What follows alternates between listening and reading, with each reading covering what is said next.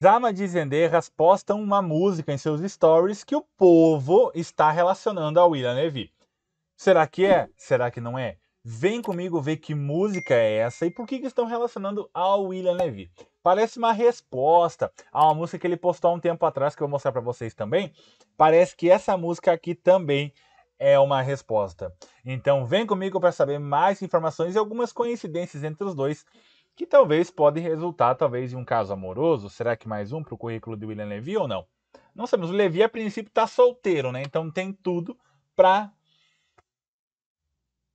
pra, pra adiante, né? Então vem comigo, clica no joinha, deixa seu like, é muito importante seu joinha nesse vídeo para ajudar o nosso canal a crescer muito e muito mais. Conto contigo, vamos juntos agora para o conteúdo do vídeo. ¿Qué es lo que más te emociona? Todo el drama y aparte la, la, pareja, la pareja, cuando me enteré que era William dije no puede ser. Te deseo todo el éxito del mundo y te damos la patadita de la buena suerte. Pa! Salve meus amores, bom dia, boa tarde, muito boa noite. Bem-vindos a mais um vídeo aqui do canal GugaTube, que tem o melhor conteúdo todo o tempo. O melhor do William Levy, tudo sobre o William Levy é aqui. É o seguinte, William Levy e Elizabeth, todo mundo já está careca de saber que o casal já passou por altos e baixos durante as trajetórias. Segundo rumores e alguns confirmados, Levi sempre ficou com as protagonistas que ele trabalhava. Só que alguns fãs do Levi dizem que agora será diferente. Tá? Apesar de da atriz protagonista Azamad estar solteira e Levi estar realmente, entre aspas, solteiro, não é possível. Não, jamais longe disso, né? Mas tem muitas coisinhas que estão acontecendo que pode resultar em algum caso amoroso entre eles. Tem tudo. Porque a gente vê que Levi, com a Elizabeth, zero consideração. Né? Só lembrar dele na entrevista com a Mirka Delanos, no programa Mesa Caliente, La Mesa Caliente. Cara, pergunta da família, ele só fala mis hijos, mis hijos. Olha esse trecho aqui. ¿Eres hombre de familia? Eh, O sea, sí, tengo mis hijos. Sí. Sí. Que adoro con toda mi vida. E depois ainda ele fala de casamento, né? Fala com a, com a apresentadora sobre casamento. Olha isso aqui também. Oye, ¿tú comes esta, esta comida en Claro, tu casa todos los sí. días? Yo cocino en mi casa a mis hijos todos los días. Oye, ¿estás listo para casarte? Cuando quieras. Cuando quieras. Será que Levi está com a Elizabeth? Tratando assim em público e tal?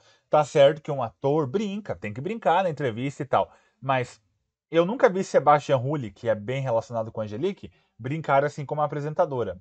Eu nunca vi outros apresentadores que têm um casamento, um relacionamento fixo, brincar assim com as apresentadoras. Então o Levi tava bem soltinho e tá soltinho, né? Esse, agora, antes de, de ver o que a Zamad postou, veja essa música que o William postou e presta atenção na letra dessa música. Olha só, mas ó, foca na letra. Pre- A beleza do Levi depois tu olha. Primeiro foca na, na, na letra da música, olha só.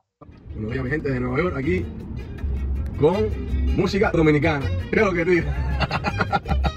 Saludos acá para la gente aquí. Saludos. Ahí está, Huertita, aquí tira acá. Estamos acá en el carro yendo para el aeropuerto y me pone acá la musiquita dominicana. Y le digo, "Oye, pon ahí una musiquita para todos mis fans ahí que se llama El Hombre del Buido. Este está lindo. Escuchen esto, mi gente querida. Yo sé que soy yo, soy el hombre de tu vida, el hombre que soñabas tener. Es que tú eres niña, que te has sabido esperar.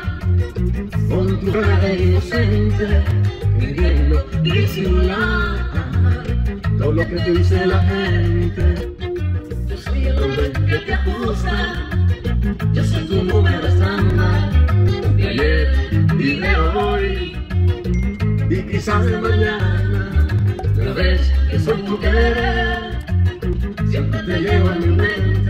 Bom, essa música do Levi é tipo, né? Soube esperar com essa cara de inocente e tal, né? Desde sempre. Enfim, é uma música assim, também, né? Com uma letra bem pejorativa, vamos dizer assim, que o pessoal assimilou, talvez Azamad ou alguém que Levi está tentando convencer, assim, a ter uma relação e tal. Para Elizabeth, eu acho que não é. E eu sinto que não é para Elizabeth essa música, não sei. Mas se fosse, acho que não é música que demonstra amor para a pessoa, né? É as atitudes. E Levi com a Zamad, cara, uma intimidade que só, né? Primeiro beijou lá na cabeça. Desde aquele dia que ele deu beijinho na cabeça, aqui na, na, na, na moleira que dizem da Zamad, na, na apresentação da novela, lá quando eles se conheceram, a Elizabeth já postou uma indireta. Toda ação tem uma reação. Pronto, começou aí. E aí, agora a Elizabeth sumiu, des- desapareceu um tempo. postou nos últimos dias ali stories, né, do, do Christopher no jogo dele, que ele ganhou com o time dele em primeiro lugar no beisebol lá e tal. Então Elizabeth estava lá, parabenizou, postou stories com ele, mas dela ela não tá postando mais nada, de treinos, nem nada disso, né? A única que posta às vezes é a personal da Elizabeth, a Maeve, né? Que de vez em quando posta alguns alguns stories da Betinha treinando, mas a Elizabeth em si não tá postando nada, né? E aí o que chama atenção é essa química entre os dois, né? Que tá bem forte. Aí eles, a Zamad surpreendeu e postou uma música em seus stories também, o que gerou assim uma, uma picuinha por aí que o povo tá comentando. Até mandaram no Google, olha isso. Repara nisso. Vamos ver a música. Primeiro clica no joinha, já deixou seu like aqui ainda não? Clica no like para ajudar nosso canal, por favor, não custa nada, gente, ajuda muito o nosso canal, tá? E assim, quem não gosta do conteúdo, quem acha que eu tô, né, falta de respeito e tal, não é obrigado a assistir, tá? A gente sabe que aqui o conteúdo a gente traz o que tá acontecendo, às vezes gente tá, o que eu falo aqui é a minha opinião, não é o fato que tá acontecendo, porque ninguém nós sabemos o que está acontecendo entre o William, mas você não precisa vir aqui, né? O bom que me assiste me dá ibope, mas vir para comentar, criticar, xingar, né, gente? Crítica é bom, mas até onde haja o respeito, né, gente? Então, vamos embora então ver a música das Amadi Zenderras. Olha só. Buenos días. Vamos a entrenar Bom, vou ler, vou ler pra vocês que não sei cantar, né? Mas vou ler a tradução da música, porque se eu mostrar a música completa vai dar direitos autorais, tá? Mas o nome da música é Primeira Cita, do cantor Karin Leon. Olha só. Presta atenção, vou ler em português a letra, ó.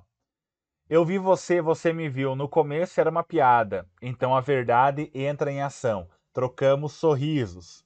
Algum tempo se passou, pouco menos de uma hora, e debaixo da mesa seu calcanhar tocou minha bota. Foi mais fácil do que fazer a mesa de um. E na hora do café da manhã eu já sabia que te amava, algumas semanas depois de começar a aventura. A lua virou mel e um show para Tijuana. Tijuana é um estado lá do México, né? Era proibido, era impossível, mas nós fizemos o que queríamos. Depois disso, nos vimos quase diariamente. Nosso amigo calendário nos deu 400 compromissos. De tanto nos amarmos, nos tornamos dois estranhos. Eu não sei quem segura sua mão hoje.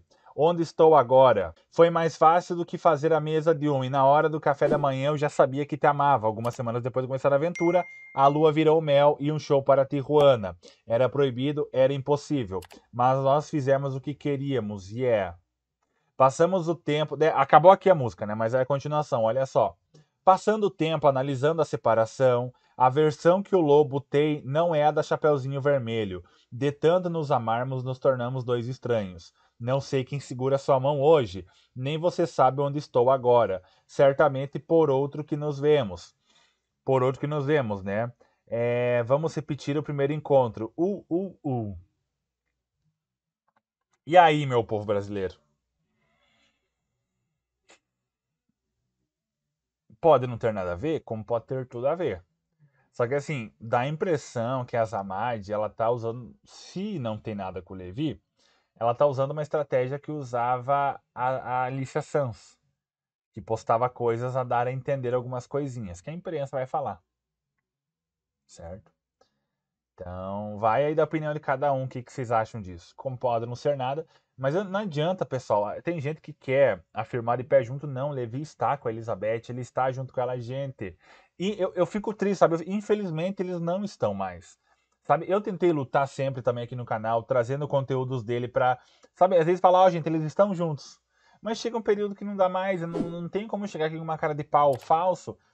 Mentir, não, Levi e Elizabeth estão juntos. E não estão, gente. O jeito que ele trata ela é nítido. É nítido o jeito que o, que o William Levy trata a Elizabeth em público.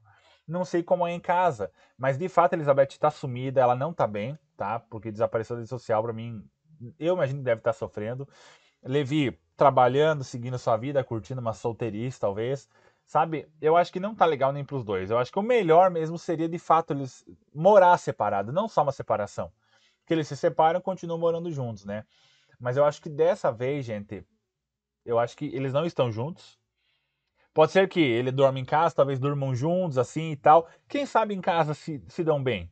Mas o jeito que Levi tratou Elizabeth em público, Talvez não que ele esteja separado, mas ele quis demonstrar para alguém ou para o mundo que eu estou separado e que Elizabeth não é nada.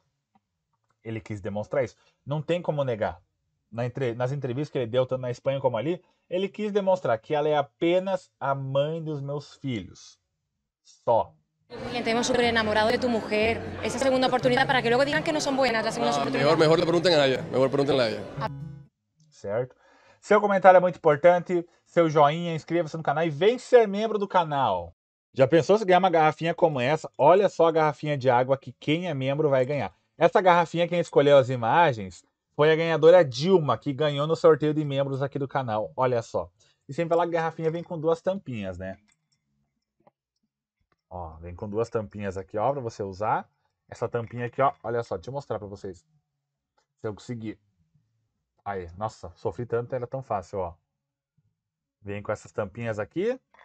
E vem também com essa, se quiser fazer uma caminhada, você coloca no dedo aqui e vai-se embora com as imagens que você escolher. Então vem ser membro. Tem que ser membro do plano Premium, de R$ 7,99 para concorrer a sorteios como esse.